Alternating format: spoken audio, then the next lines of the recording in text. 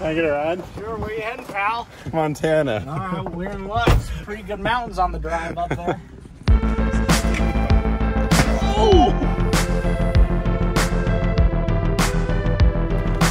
Take a bite of that mountain.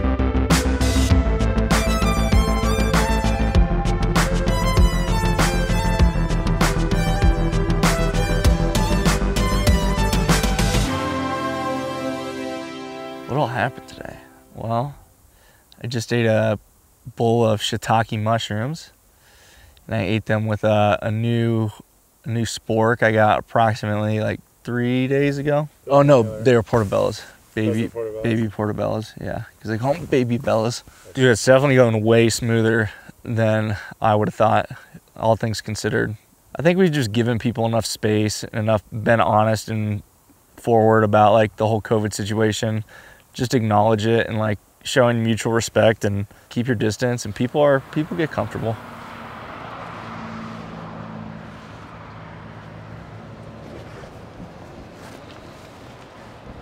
fly fishing has been my hobby and passion since I was a kid.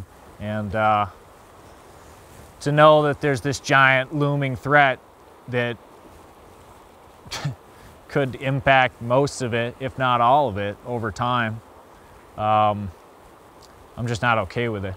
I mean, I think for a lot of folks who have spent decades on these rivers, the issue of climate change is very personal to them. And a lot of them, you know, who rely on those rivers, guides, outfitters, people who are directly tied to the health of those rivers are seeing these changes and they're concerned. Outdoor recreation is one of the top economic drivers of the state, next to agriculture. Like I said, if we're gonna protect these things out here, uh, a lot, a lot has to be done.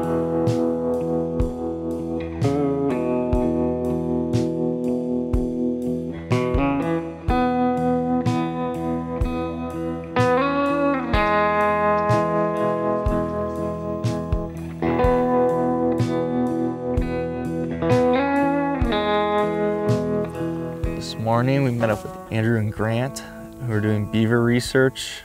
He showed us analog dams that they made. by building these structures called beaver dam analogs that are basically a bunch of posts slammed into the ground and then there's slash weaved in between creates a semi-permeable ephemeral dam a lot like a beaver dam that still holds back water to kind of recharge the aquifer keep water in the stream for longer but also create you know more volume of habitat for fish you know, one of the benefits of having beaver is that they can create climate resilience by one holding water, but also recharging that groundwater aquifer. And once that water enters the ground, it cools down and then can re-enter the stream even colder. So there's a number of benefits there. Dude, beavers kind of have it going on. They have like a Batman cave, you know, you swim up underneath it and then lay out. That'd be a sick house. Well, what are we doing, man? Well, trying to get a little time lapse of the lightning, and now I'm a little nervous about getting struck by lightning because Nice little hat. You got the camera there. Out there, super, just this super exposed knob.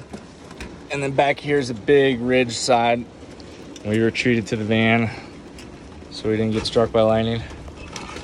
Do it again. Do a rapid fire. due hmm.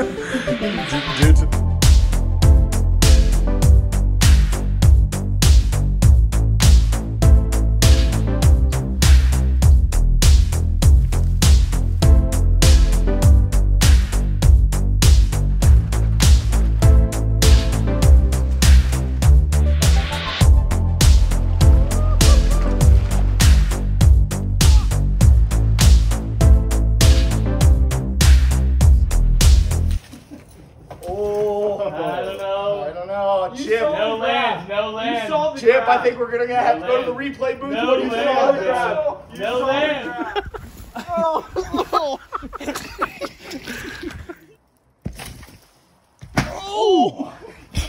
what happened?